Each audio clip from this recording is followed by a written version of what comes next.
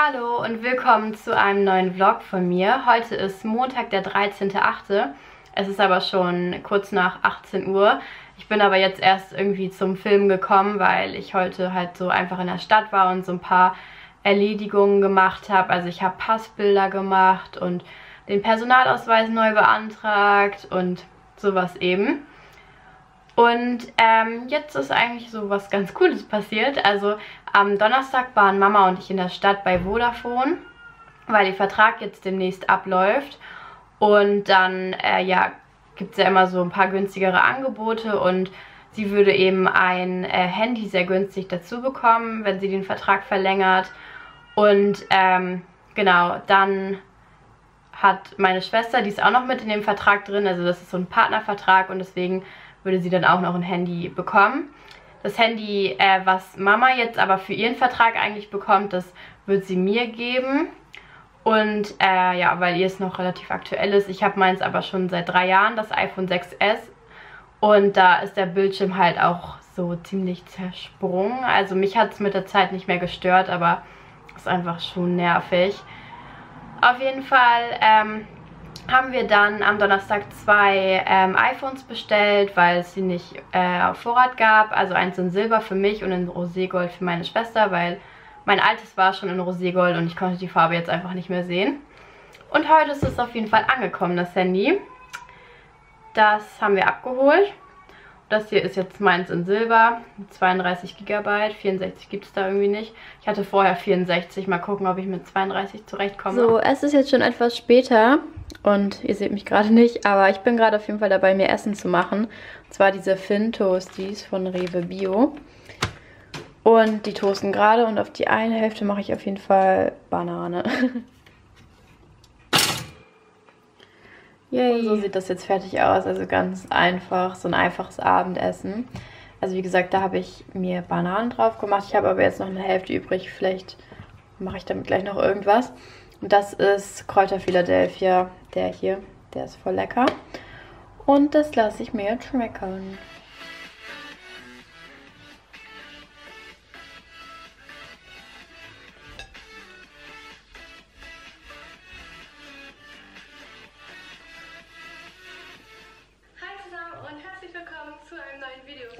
Hallo, es ist der nächste Tag und ich komme gerade von der Arbeit wieder.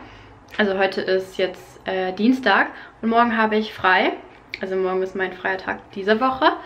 Und äh, ja, ich wollte mir jetzt erstmal was zu essen machen, weil nach der Arbeit habe ich immer mega Hunger. Und weil ich gestern bei Vapiano war, habe ich dann noch ein bisschen was übrig. Also ich habe mir das dann einpacken lassen. Und ähm, das mache ich mir jetzt gleich mal warm. Also ist jetzt nicht mehr so viel, aber immerhin etwas. Das ist ähm, Carbonara mit Penne, das esse ich eigentlich immer. Die haben da ja Gott sei Dank immer diese coolen Boxen, sodass man das dann mitnehmen kann. Und äh, ja, das machen wir jetzt gleich erstmal in der Mikrowelle warm und esse das dann. Und nachher fahre ich zu Chris, weil ich bei ihm schlafe, denn morgen früh werden wir nach Köln fahren, weil wir gestern noch abends ein paar Wohnungen angeschrieben haben und kurzfristig haben wir dann auch eine Antwort, Antwort bekommen und jetzt haben wir morgen dort einen Besichtigungstermin. Fahren dann mit dem Zug nach Köln, glaube ich jedenfalls, oder mit dem Auto. Ich bin mir gar nicht so sicher. Ähm, ja, ich freue mich voll, weil das ist ja meine erste Besichtigung. Chris hat sich ja immer die Wohnung allein angeguckt und jetzt können wir mal zu zweit eine Wohnung anschauen. Vielleicht macht es auch so ein bisschen einen besseren Eindruck, weil ich glaube, das ist nicht so gut, wenn zwei Leute einziehen und nur einer von beiden ist bei der Besichtigung da. Aber ich kann halt wirklich nichts machen, weil ich nie weg kann. Wegen der Arbeit. Oh, meine Haare sehen auch aus. Halleluja. Genau, jetzt werde ich erstmal was essen und dann melde ich mich wahrscheinlich später nochmal. Dann äh, kann ich ja mit euch vielleicht zusammen so mein Handy ein bisschen einrichten oder auspacken erstmal und ja.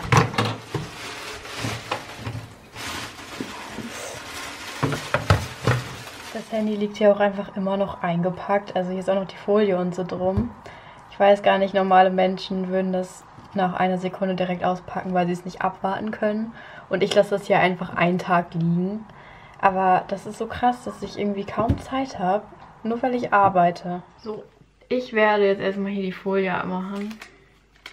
Wie auch immer, wie geht das? Achso. Und äh, so sieht das Ganze jetzt aus. Halt dieser klassische Karton.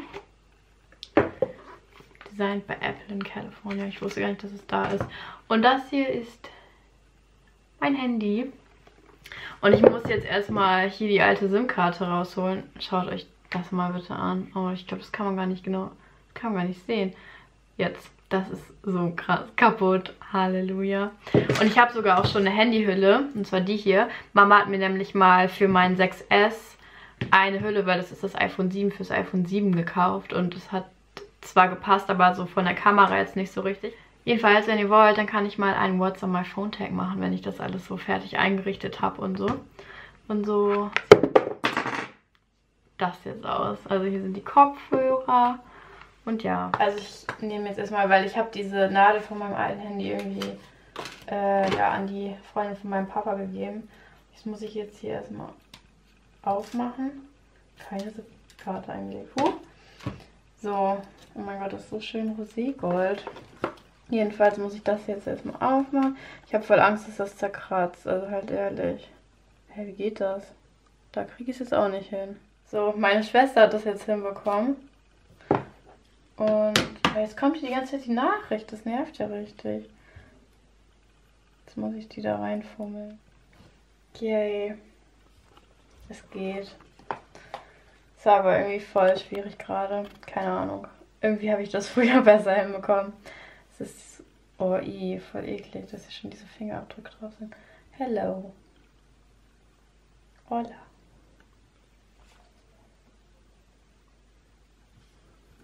Das ist so wundervoll. So, Sprache mache ich glaube ich Deutsch. Ich hatte jetzt vorher Englisch, aber nee. Wird eingestellt. So, also weiter. Touch ID kann ich jetzt schon machen. So, fertig ist alles. Und jetzt drücke ich einfach auf Los geht's. Was ist das denn gewesen? Standard.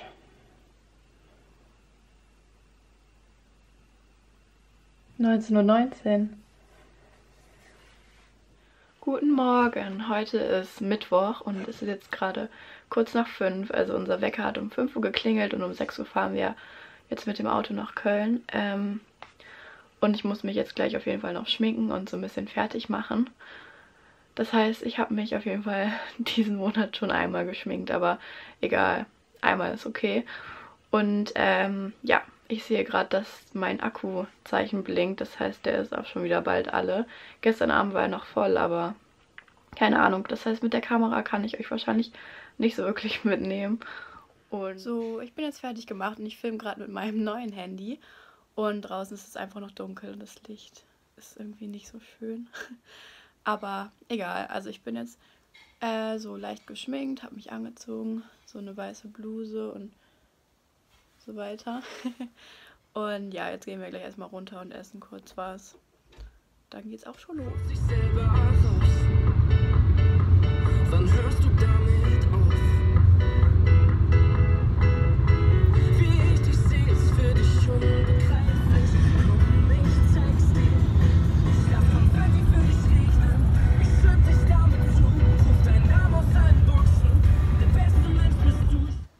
Wir sind angekommen. Wir sind noch viel zu früh, anderthalb Stunden. Aber egal, wir gucken uns jetzt schon mal das Haus an. Wir sitzen gerade noch in einem, ja, Biergarten steht da, ne? Ja, im Biergarten, weil wir nichts anderes gefunden haben hier in der Nähe. Aber wir haben jetzt noch Kaffee und Kakao getrunken und gleich gehen wir dann zur Wohnung, weil wir hatten ja noch so lange Zeit und mussten die irgendwie rumkriegen. Ja, mal gucken, wie das da alles so aussieht. Ja gut,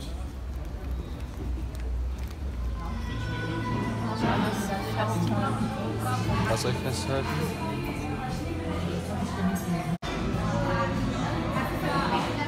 Wir sitzen jetzt gerade noch bei Losteria und fahren gleich wieder nach Hause.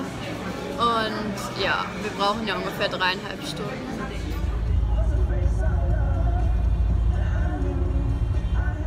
So, ich bin wieder zu Hause. Es ist jetzt halb sechs oder so. Also wir hatten auf der Rückfahrt So, ich mache das mal ein bisschen gerader. Wir hatten auf der Rückfahrt etwas Stau. Aber ja, war jetzt auch nicht so das Problem. Wir sind dann vier Stunden ungefähr gefahren und normalerweise fährt man so drei bis dreieinhalb. Ähm, und ja, genau, ich kann ja mal so ein bisschen von der Wohnung erzählen. Also wir haben uns heute eine Wohnung angeschaut, die hatte äh, 46 Quadratmeter und sollte warm ungefähr 650 Euro kosten, soweit ich das jetzt in Erinnerung habe. Und ähm, ja, wir sind nur wegen der einen Wohnung eben nach Köln gefahren und die Wohnung hat anderthalb Zimmer. Und wir waren äh, nicht alleine, also Chris und ich äh, waren halt da mit seiner Mama als ja, Bewerber und dann war noch ein anderer da, der sah aus wie ein Student. Und genau, dann sind wir eben in die Wohnung reingekommen. Ähm, ich fand so den ersten Eindruck nicht ganz so toll von außen, das Haus, aber das hat ja eigentlich nicht wirklich was zu sagen. Also inwiefern die Wohnung dann schön ist oder so. Auf jeden Fall, wir kamen in die Wohnung rein und es war alles sehr schön hell und offen. Ähm, links war halt die Küche, da war aber keine Einbauküche drin, also man hätte sich noch eine Küche kaufen müssen. Und äh, rechts war dann das Badezimmer mit Badewanne und allem drum und dran, war ganz einfach in weiß, also voll in Ordnung.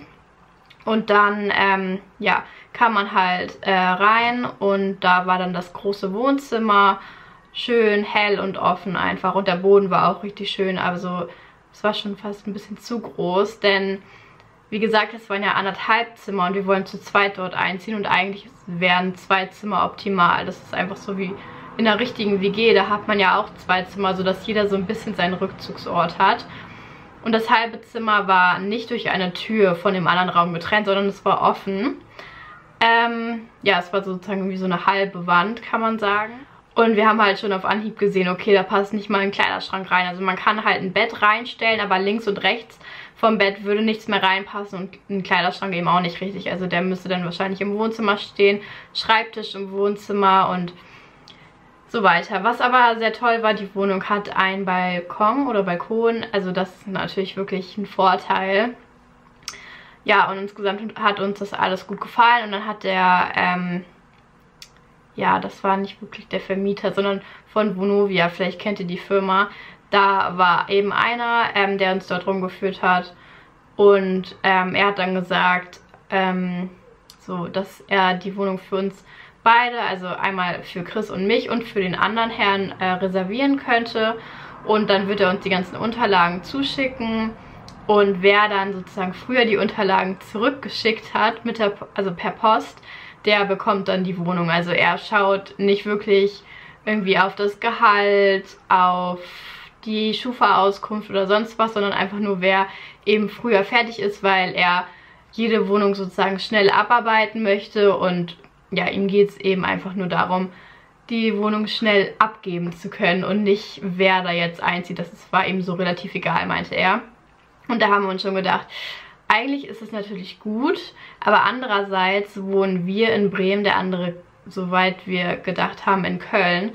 Und da haben wir natürlich schon mal so den zeitlichen Nachteil, weil wir erstmal die ganzen Unterlagen zusammensuchen müssen und so weiter. Und ähm, ja genau, deswegen sind wir uns da nicht so sicher, ob das halt klappt. Und die Wohnung war jetzt auch nicht optimal, dass wir jetzt sagen würden, so wir machen jetzt alles dafür, dass wir die bekommen.